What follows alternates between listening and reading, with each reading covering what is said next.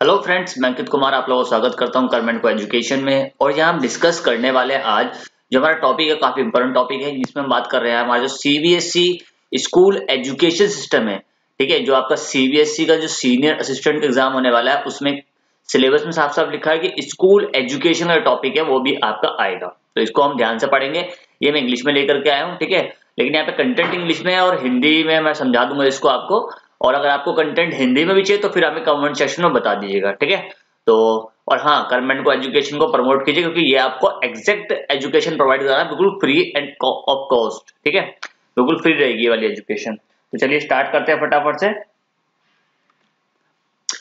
Actually में जो आता है आपका जो स्कूल एजुकेशन ये आता है आपका department of school education and literacy तो यहाँ पे देखिए, सबसे पहले हम देखेंगे इसमें बजट क्या है इनका। जो बजट है जो 2018-19 का है, उसकी बात कर रहे हैं और उसके अंदर जो प्रपोज किया गया है, जो हमारा एजुकेशन सिस्टम है, कि हम उसे किस तरह से आगे बढ़ाएँगे। तो यहाँ पे सबसे पहली बात की गई है कि historically without segmentation from pre nursery to twelfth class तक की बात कर रहे हैं हम। यानी कि pre nursery to twelfth class तक की हम बात कर रहे हैं और इसमें एक अभियान शुरू किया गया है, जिसका नाम है समग्र शिक्षा अभियान। देखिए एजुकेशन में बहुत सारी चीज़ें हैं, लेकिन हम केवल वो पढ़ेंगे जो एग्ज़ाम में आ सकती है।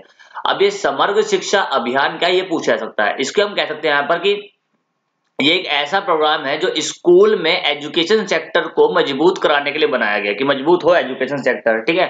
अभी जो एजुकेशन सेक्टर मज़बूत होगा, ये किस किस पैरामीटर पर खास तौर पर इसमें बात की गई है कि जो प्राइमरी स्कूल है, वहाँ से लेकर के आपका ट्वेल्थ तक के लिए अभियान चलाया गया है। वो आपसे पूछ सकते हैं कि भाई ये सिक्स टू एट तक के लिए है, ठीक है? एट टू ट्वेल्थ तक के लिए है। लेकिन आप ध्यान रखना कि प्री स्कूल से ट्वेल्थ क्लास तक के लिए अभियान चलाया गया है। इससे क्या होगा?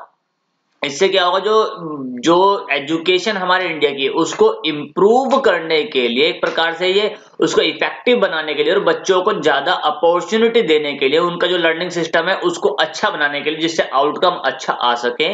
ये समग्र शिक्षा अभियान चलाया गया है। अब समग्र शिक्षा अभियान जो है, इसके अंदर अपने आप में तीन स्कीम आती हैं। ठीक है? इसके अंदर में अपने आप में तीन स्कीम डाली गई है। वो तीन स्कीम कौन कौन सी वो तीन स्कीम देखिए यहाँ पे लिखी है। एक है सर्व शिक्षा अभियान। ठीक है? शॉर्ट फॉर्म कहते हैं इसकी एस एस ए एक है राष्ट्रीय माध्यमिक शिक्षा अभियान। शॉर्ट फॉर्म है आर एम एस ए और एक है टीचर एजुकेशन, टीई। यानी कि एक बात सोच लीजिए कि सर्व शिक्षा अभियान के अंदर आएगा, आपको जिसके सबकी शिक्षा की बात इसमें की जा रही है कि भाई सबकी शिक्षा होनी चाहिए और सबको शिक्षा मिलनी चाहिए। एक राष्ट्रीय माध्यमिक शिक्षा अभियान, जिसमें हम राष्ट्रीय में जो ओके कहते हैं, जो माध्यमिक शिक्षा है, उसको ज़्यादा प्रमोट करने की बात कर रहे हैं। तो कुछ बच्चे होते हैं कि कुछ बेसिक शिक्षा लेने के बाद में वो शिक्षा से हट जाते हैं, एजुकेशन सिस्टम त्याग देते हैं, ठीक है? तो उनको भी यहाँ प्रमोट किया जा रहा है। और दूसरी बात है यहाँ पर कि टीचर एजुकेशन, क्योंकि अगर आपके पास अच्छे और क्वालिफाइड टीचर होंगे, तभी आप लोग अच्छा पढ़ पाएँगे ना। तो इसमें कहा गया कि टीचर की एजुकेशन भी बहुत इंपॉर्टेंट है, टीचर को भी एजुकेट आपको रखना होगा। तो ये तीनों बातें समग्र शिक्षा अभियान में डाली गई हैं तो इस बात को आप ध्यान में रखना। अब बात करते हैं यहाँ पे एक छोटा सा बैकग्राउंड लेके चलते हैं राइट टू एजुकेशन का, यानी कि शिक्षा का अधिकार। एक्चुअली ये शिक्षा का अधिकार है, उसकी जब बात करें तो हमारा जो इंडियन कॉन्स्टिट्यूशन है, उसका एट्टी कॉन्स्टिट्यूशन अमेंडमेंट हुआ, ठीक है? कॉन्स्टिट्यूशन अमेंडमेंट एक्ट बना। ये बना आपका 2002 में, ठीक? और इसमें क्या किया गया? इसमें आपका आर्टिकल 21 ए ऐड किया गया। वहाँ पर आपको ना एक बात ध्यान रखिएगा क्वेश्चन में आपको दे सकते हैं कि आर्टिकल 21 21 ए 22 24 ऐसे आर्टिकल आपको देंगे ऑप्शन में। तो एक बात ध्यान रखना कि जब भी आप कहते हो अमेंडमेंट हुआ, यानी कि संशोधन हुआ तो यानी कि आपका कोई ना कोई आर्टिकल नया जोड़ा होगा। और जिस आर्टिकल के आगे अल्फ़ाबेट लगा होगा ना कोई भी, वो आर्टिकल हमेशा नया जुड़ा हुआ होता है। तो इस बात का आप ध्यान रखना, ठीक है? तो यहाँ पे क्या है? Right to right to education के लिए आर्टिकल बनाया गया है आर्टिकल 21 ए अब जो आर्टिकल 21 ए है, इसकी एक और खासियत भी है, मैं आपको बता दूँ, इसके अंदर जो छह से 14 वर्ष के बच्चे उनको फ्री एंड कंपलसरी एजुकेशन दिलाने की बात केवल करते हैं, उससे कम के बच्चों की यहाँ बात नहीं होती, ठीक है? अब यहाँ पे क्या है कि, यहाँ पे क्या इंडिया यानी कि इंडियन कॉन्स्टिट्यूशन एक गारंटी दे रहा है किसको बच्चों को, कि free and compulsory free and compulsory education सभी चिल्ड्रंस को प्रोवाइड कराई जाएगी। इसमें बात क्या की गई है? छह से चौदह वर्ष के बच्चों के लिए। और ये आपका एक प्रकार से फंडामेंटल राइट आता है। ध्यान रखना, क्या आ रहेगा यहाँ पे? फंडामेंटल राइट अब जब शब्द इस्तेमाल किया गया फंडामेंटल राइट तो इसको भी समझ लिए फंडामेंटल राइट आपके कॉन्स्टिट्यूशन में इंडियन कॉन्स्टिट्यूशन में पार्ट थ्री में आता है। और इसके साथ में इसमें जो आर्टिकल आते हैं, बारह से पैंतीस तक आते हैं। तो इन बातों को ध्यान रखना है बहुत बेसिक बातें वहाँ पे पूछी जा सकती है।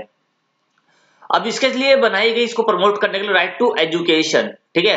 तो right of children to free and compulsory education बनाया गया, इसको हम बोलते हैं RTE right to education act ठीक? और ये बना कब 2009 में बनाया गया, ठीक है? 2009 में बना दिया गया। और जिसके द्वारा प्रेजेंट किया गया, क्या? आर्टिकल 21 ए की, इसको ये प्रमोट करेगा।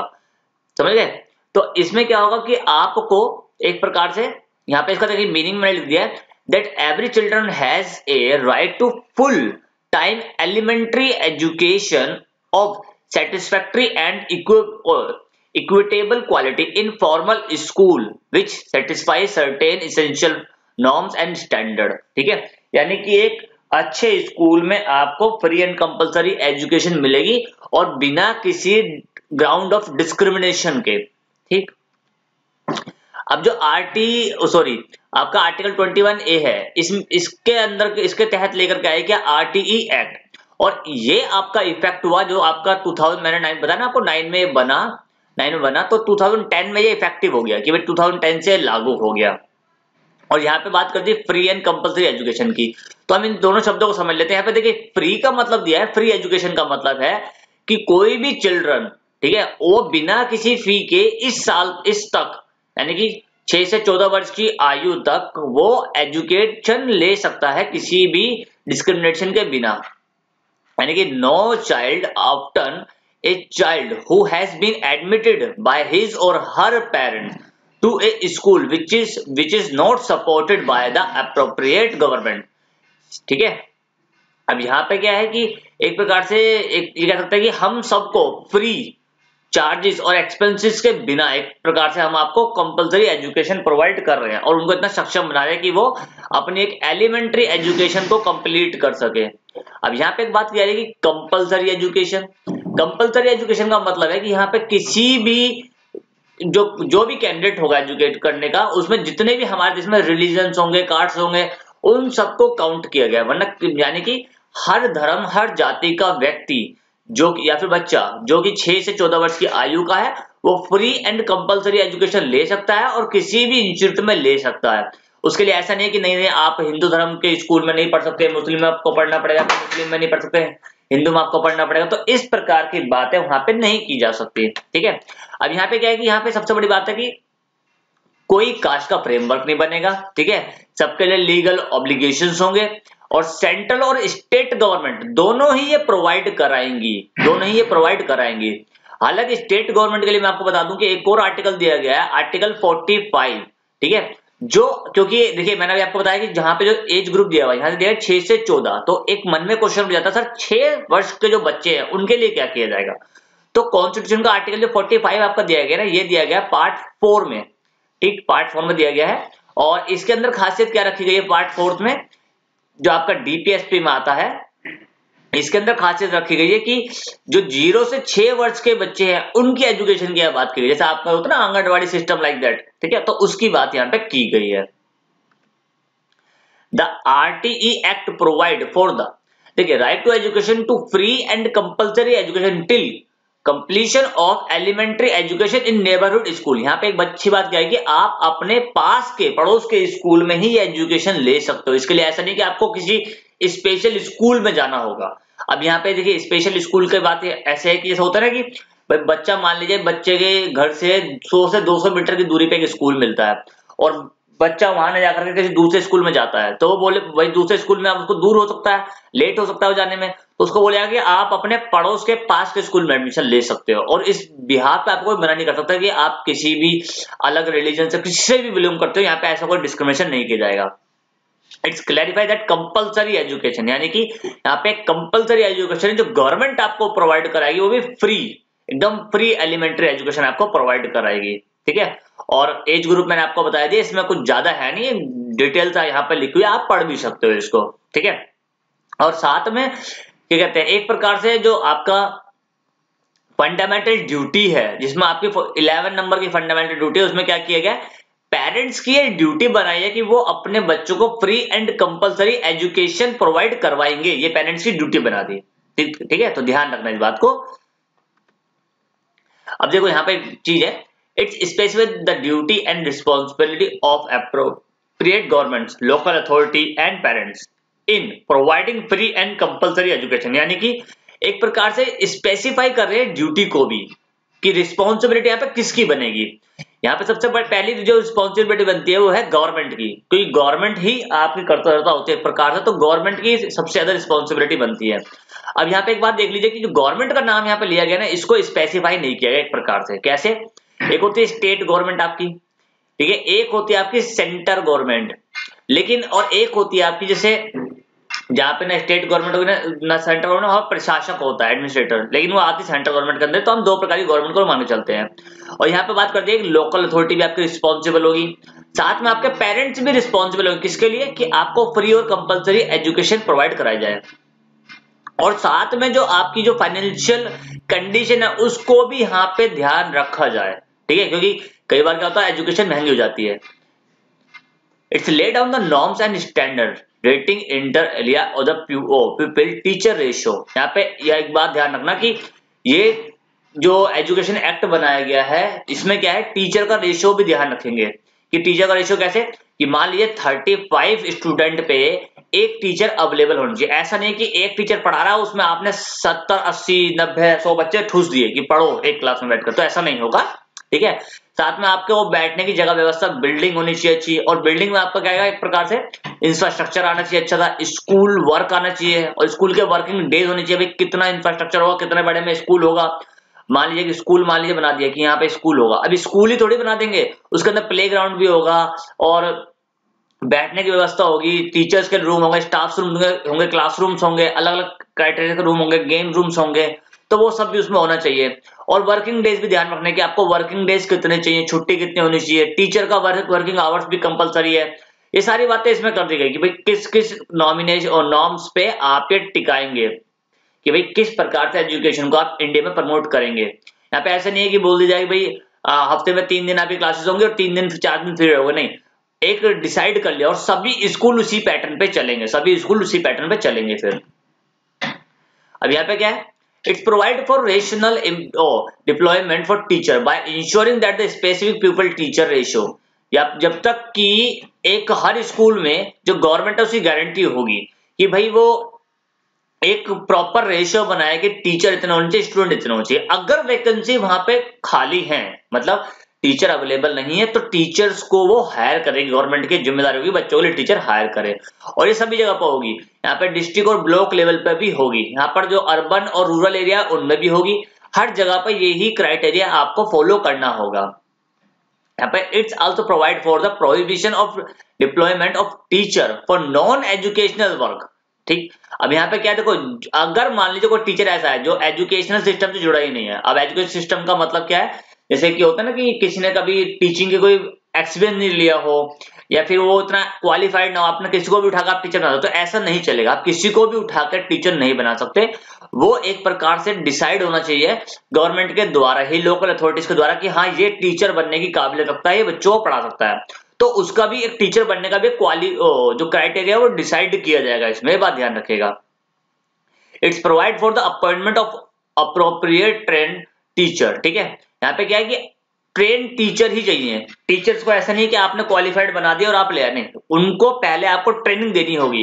यानी कि आपको उनको कम से कम छह महीने के लिए, आठ महीने के लिए, साल भर के लिए एक स्कूल में भेजेंगे, जहाँ पर वो एज ए ट्रेनिंग काम करेंगे, सीखेंगे कि बच्चों को कैसे वो एजुकेट करेंगे, कैसे वो पढ़ाएँगे और उसके बाद ही वो आकर के बच्चों को ट्रीट करेंगे, पढ़ाएँगे। ठीक है? अब यहाँ पे क्या है, यहाँ पे कुछ बातें बंद कर दी गई कि कौन कौन सी बातें प्रोहिबिट्स कर दी गई है। पहला क्या physical punishment and mental harassment, यानी कोई भी टीचर अपने मन की भड़ास निकालने के लिए किसी भी बच्चे को फिजिकली पनिश नहीं करेगा और मेंटली हरेस नहीं कर सकता, ठीक है? यानी कि दिमागी रूप से टॉर्चर नहीं कर सकता। कभी होता ना, टीचर्स बोलते हैं, उनका मतलब उनको एक तरह से डिस्क्रिमिनेट कर देते हैं कि नहीं, तुम इतने बेकार हो, तुम आगे नहीं बढ़ सकते, ये नहीं कर सकते, वो नहीं कर सकते, या फिर कोई बच्चा होमवर्क ना करे, ठीक से नहीं पढ़ पाया नहीं समझ पाया बातों को तो उनको बहुत ज़्यादा कठिन वो क्या कहते हैं पनिशमेंट दे दी जाती है। तो इस प्रकार से नहीं होगा। एक इस प्रकार से स्क्रीनिंग प्रोसीजर होगा, एक प्रकार से, ठीक है, और admission for children screening procedure वो ऐसा कोई फॉलो नहीं करेगा कि भाई, कि एडमिशन प्रोसीजर के लिए कोई स्क्रीनिंग प्रोसीजर नहीं होगा, ठीक है? और कोई फ़ीस वो एक्स्ट्रा फ़ीस फ़ीस नहीं लेंगे प्राइवेट और ट्यूशन बाय टीचर्स यानी कि जो टीचर होंगे स्कूल के, वो प्राइवेट ट्यूशन उन बच्चों का नहीं लेंगे, समझ रहे हो? कि पहले वो बोलते हैं, भाई, अब वो स्कूल में पढ़ रहे हैं, वहाँ मान ली दस बच्चे पढ़ रहे हैं तो बैन कर हैं कि भाई आप इन स्कूल के बच्चों को अपने घर पे प्राइवेट ट्यूशन के लिए नहीं बुलाओगे। ठीक है? Running of school without recognization यानी कि आप किसी भी रजिस्ट्रेशन के बिना अपना स्कूल नहीं चला सकते। तो ये सारे के सारे पैरामीटर आपके खरे उतरने चाहिए, तब ही आप एक सही समाज के लिए शिक्षा का व्यवस्था कर सकते हो। अगर ये सारे पैरामीटर खड़े नहीं उतरेंगे, तब प्रॉब्लम हो जाएगी। एनी प्रॉब्लम क्या होगी मतलब आपको अलाउड ही नहीं करेंगे, क्या आप एजुकेशन दो ठीक है? अब यहाँ पे क्या है it's provide for development of curriculum curriculum in the consonance with a valuable in of the constitution and which would ensure that the all around development of child building ठीक है? ऑन द चिल्ड्रन नॉलेज यहाँ पे एक बात देख लीजिएगा कि जो भी एक क्राइटेरिया डेवलप किया जाएगा तो यहाँ पे सबसे बड़ा डेवलपमेंट ये होना चाहिए कि आप हर तरह से जो चिल्ड्रन है, बच्चा है, उसकी नॉलेज बूस्ट करने के लिए डेवलप करने के लिए ही आप एक काम कर रहे हो। अब इनके लिए एक और व्यवस्था की गई, देखिए, एक हो गया मिड डे मील की व्यवस्था। एक्चुअल में क्या था कि जो बच्चे थे, वो उनका रेशो बढ़ने जाता स्कूलों में। पेरेंट्स उनको भेज देते पढ़ने के लिए। क्योंकि पेरेंट्स ये सोचते थे कि भाई चार पैसे कमाएगा, घर में काम आएँगे। और फिर क्योंकि इनके खाने पीने की व्यवस्था करनी होती थी तो गवर्नमेंट ने क्या किया कि मिड डे मील की व्यवस्था कर दी कि भाई, अब बच्चा जो पढ़ेगा, उसको खाना भी मिलेगा। तो 2001 में स्कीम चलाई गई इसको शॉर्ट फॉर्म बोलते हैं M D M S mid day meal scheme ठीक है? यहाँ पे क्या होगा कि कुकिंग होगी बच्चों के लिए। खाना बनेगा जिसको गवर्नमेंट हेल्ड करेगी। गवर्नमेंट के अंडर में काम होगा सारा सारा और खाना बनेगा और प्राइमरी स्कूल के बच्चों के खाना बांटा जाएगा, उनको खिलाया जाएगा। जिसमें बात की खाना ऐसा होना चाहिए जिसमें जो मिनिमम कंटेंट ऑफ़ कैलोरी है वो 300 होनी चाहिए। ठीक है? 300 कैलोरी पर डे बच्चों को मिलनी चाहिए। और यहाँ पे जो एनर्जी है वो 8 से 12 ग्राम होनी चाहिए। इन बातों को ध्यान रखना कि कैलोरी और एनर्जी कितनी दे रहे हैं पर। ठीक है? 8 से 12 ग्राम एनर्जी होनी चाहिए और प्रोटीन पर डे कम से कम मिनिमम क्या कहते हैं, मिलना चाहिए 200 दिन तक, ये 200 दिन तक ऐसे मिलना ही चाहिए।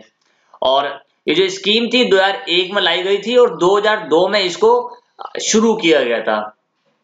ठीक है, और यहाँ बताया गया था कोई भी एक चिल्ड्रन मतलब ऐसा नहीं होना चाहिए कि किसी को आप छोड़ रहे हो, ऐसा नहीं होना चाहिए। हर एक चिल्ड्रन इस स्कीम के अंदर काउंट होना चाहिए, सभी को एजुकेशन मिलनी चाहिए, ठीक है? और यहाँ पे गवर्नमेंट ने क्या किया? लोकल बॉडीज को भी ऐड किया और उसमें क्या किया कि भाई एजुकेशन गारंटी स्कीम भी प्रोवाइड की। एजुकेशन गारंटी स्कीम लेकर के आए। और साथ में alternative and innovation education centre भी खोले गए कि भाई एक प्रकार से आपको प्रमोट करना है। बस किसी भी तरह बच्चों का एजुकेट तो आपको करना ही है।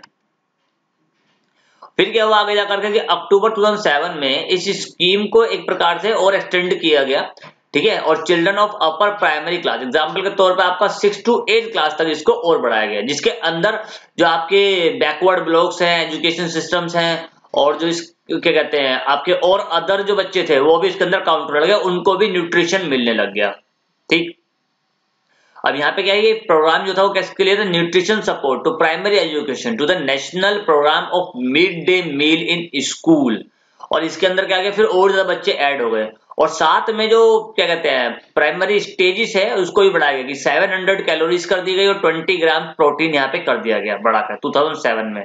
ठीक? और फिर उसके बाद में मतलब ये समझ लिया कि टाइम टू टाइम ये प्रोग्राम बढ़ता ही जा रहा है। और इस स्कीम को फिर से रिवाइज किया गया अप्रैल 2008 में और यहाँ पे क्या किया गया? System to recognise as well as unrecognise ठीक है? दोनों इंस्टीट्यूट में डाला गया इसको। किसमें? एक रिकॉग्नाइज में और अनरिकॉग्नाइज दोनों में डाला गया और साथ में लिख दिया गया यहाँ पे मदरसा जो होता है ना, मदरसा, इसमें जो आपके मुस्लिम्स खास तौर उन सब में भी ये स्कीम लागू कर दी गई तो ये था आपका school education system of CBSE इसको आई होप आपने अच्छे से समझ लिया अगर आपको हिंदी में भी चाहिए तो मेरे को आप कमेंट सेक्शन में बता सकते हैं, मैं हिंदी में भी इसकी वीडियो ले आऊँगा। तब तक के लिए गॉड ब्लेस यू